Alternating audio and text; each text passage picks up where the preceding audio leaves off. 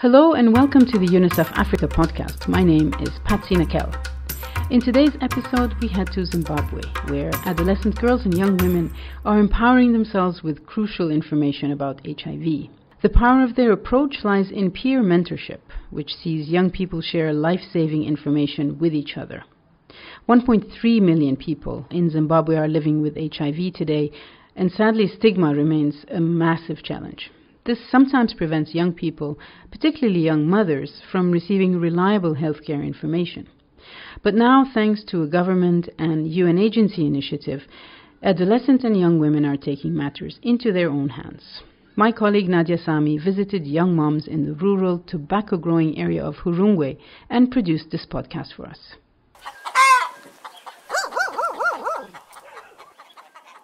Growing up in this place, I was always a sickly child.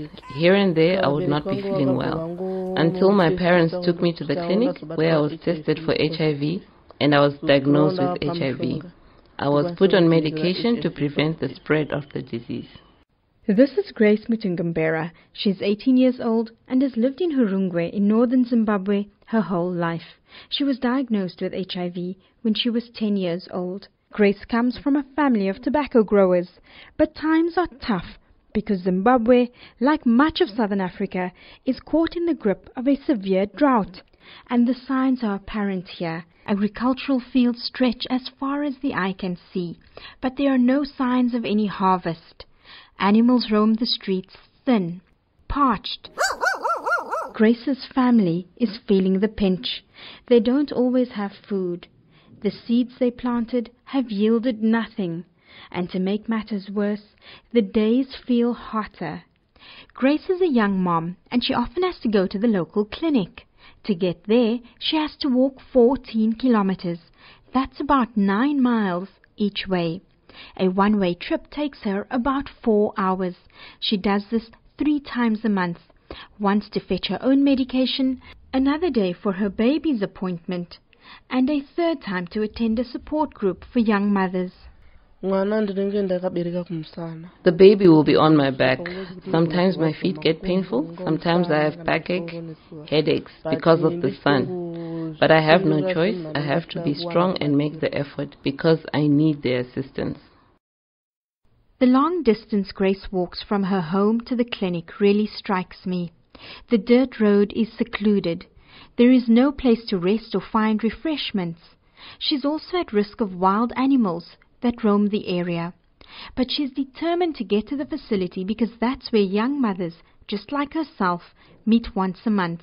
It's a safe space for moms living with HIV to make friends and gain support for themselves and their HIV exposed babies.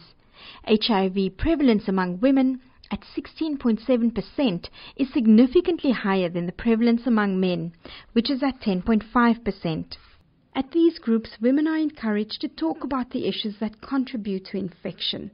Here, they discuss sexual and reproductive health, including the negotiation of condom use in this very patriarchal society when you look at your friends and you look at girls and young women in the community, do you feel that they have the power to do things like negotiate the use of a condom or that they're able to speak out for their rights. Some of them they cannot. Their husbands actually refuse to use condoms for protection. Here's Chiara Pierotti. She's the HIV and AIDS chief at UNICEF Zimbabwe.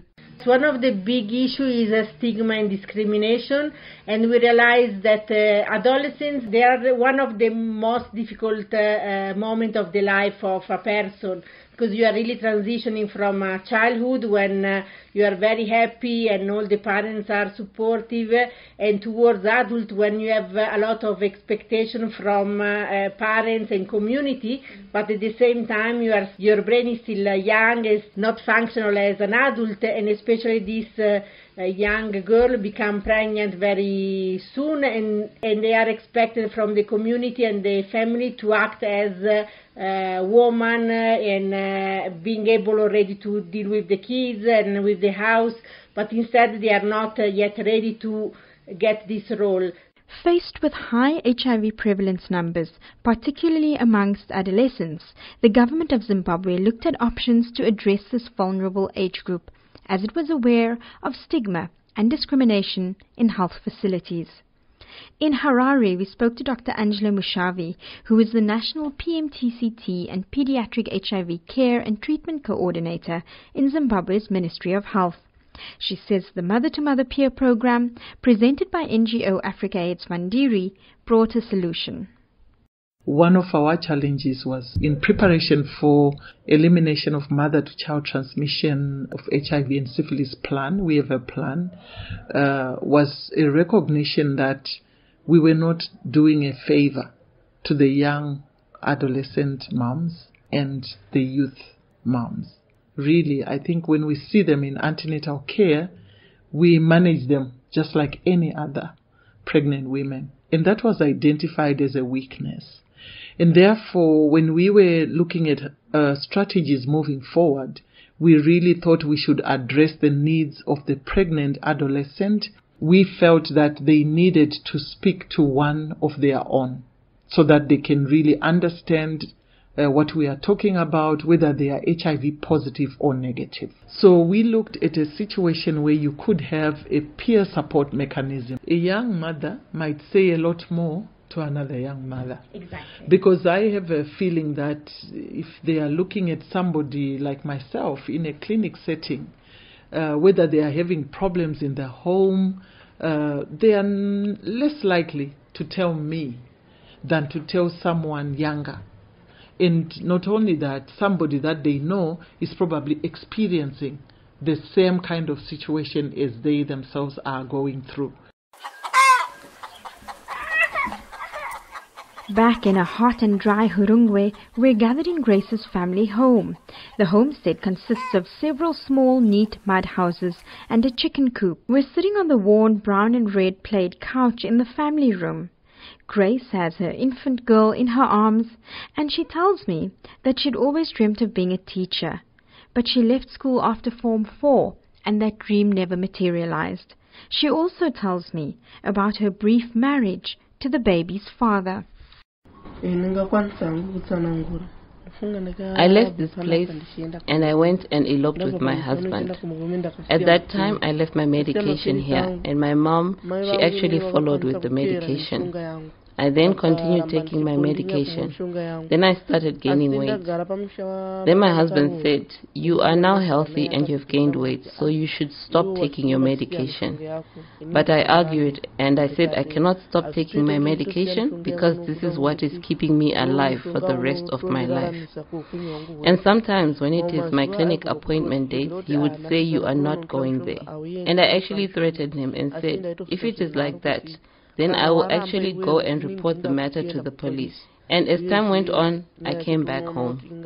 I can now take my medication again and attend my clinic appointments, and I am free to attend support groups because I don't have any problems or obstacles.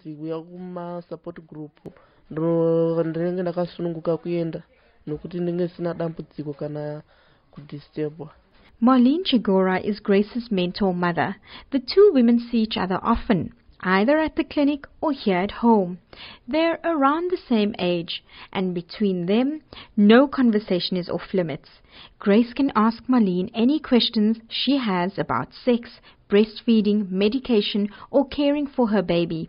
And Marlene has been through extensive training to answer all these questions. Kubva ushanda naye grace aiva ari munhu kuti when we started with grace she was having difficulty accepting her status and it was troubling her because she was a married woman after we encouraged her, she took her medication and she took care of the baby. We asked her to also bring her husband. He came and he tested HIV negative. We then encouraged Grace to continue taking medication and giving her baby medication. Grace listens attentively when we discuss everything with her, be it attending to support groups or how to take care of the baby. She listens attentively and is very cooperative. This is Grace's dad, Martin Mutungambera.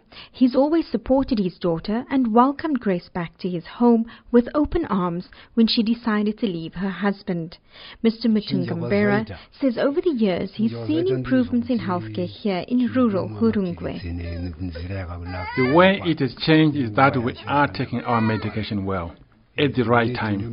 We are given days when we must go and collect our medication, and we always get them.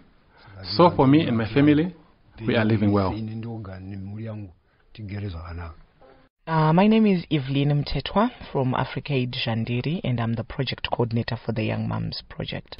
AfricaAid is a local non-governmental organization that works with young people 0 to 24 that are living with HIV to enable them to live happy, fulfilled lives, even though they are living with HIV paint a picture of Hurungwe. We we saw the areas are spaced are quite wide apart. It's dusty, dirt roads. The area is extremely poor. There's a, the poverty rate is quite high.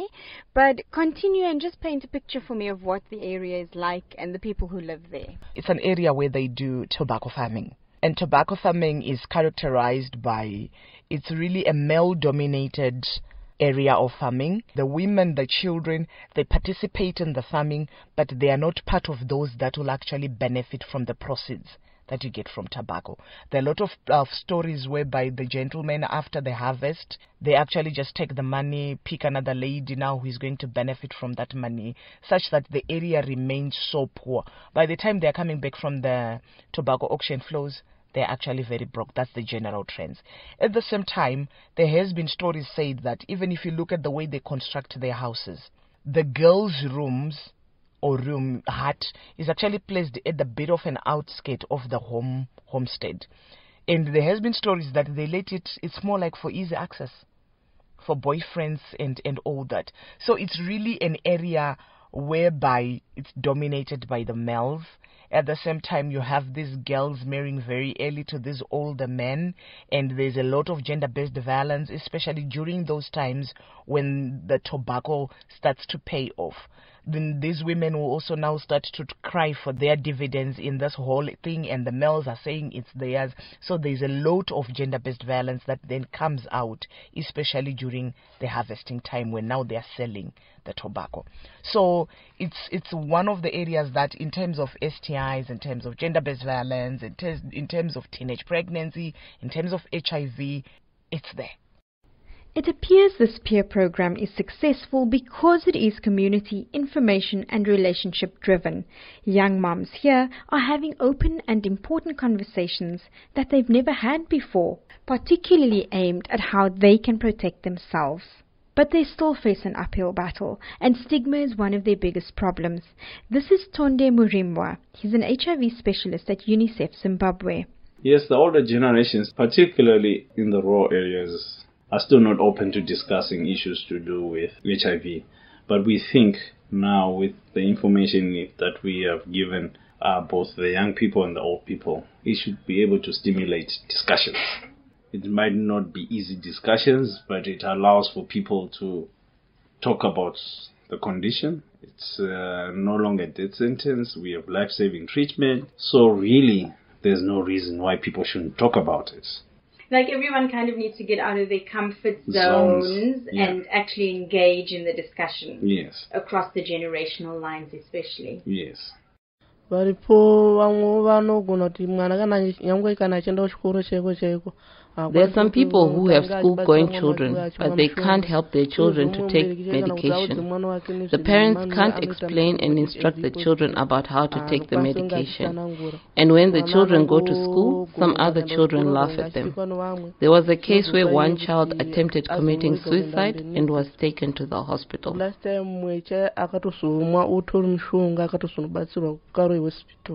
Dr. Solomon Mukungunugwa works for the Zimbabwean Ministry of Health. He says the way people are made to feel when they seek out information is critical to the way they receive and use that information. Now, adolescents and young women who live in the areas where the project has been rolled out can ask questions about sexual and reproductive health in a non-judgmental space knowing that the mentor mother they're talking to has probably encountered the very same issue herself. So what we have seen uh, primarily in the population before introduction of the Young Mentor Mother program is that most of the women that were transmitting HIV to their infants were those women that were uh, the young mothers, um, typically less than 24 years old. And there were so many other issues around why they were transmitting. Um, not necessarily biological, but also social and uh, family issues. And with the introduction of the Young Mentor Mother program, what we have seen is that retention, adherence in care has improved significantly. Meanwhile, Grace works hard to ensure her baby does not become infected. She adheres to her own medication and gives the baby her medicine on time. On the day we are visiting, a community nurse has come over to the house to check on the baby and administer her nine month test. I just pricked the baby on the heel and it took some blood and then I put it on the uh, HIV test kit. Uh, the results are now out, now 15 minutes, and they are negative. ndinongonzwa kufara nokuti ndikukwehlisa nguve kumupa mwana wangu mushonga every day yeah she she feels very happy because she gives the baby his medications just on time on daily basis. And isn't that a beautiful note to end our podcast with this week? The Young Mentor Mothers Initiative was made possible by the government of Zimbabwe, Africaid, Zvandiri, UNICEF, and the joint UN Together for Sexual and Reproductive Health and Rights program, with funding from the Swedish government. And do remember to listen to us uh, next time on the uh, UNICEF Africa podcast. And in the meantime, you can tell us what you think on our different social media accounts, including Facebook, Instagram, and Twitter. That's UNICEF Africa on Facebook, Instagram, or Twitter. Thanks for listening.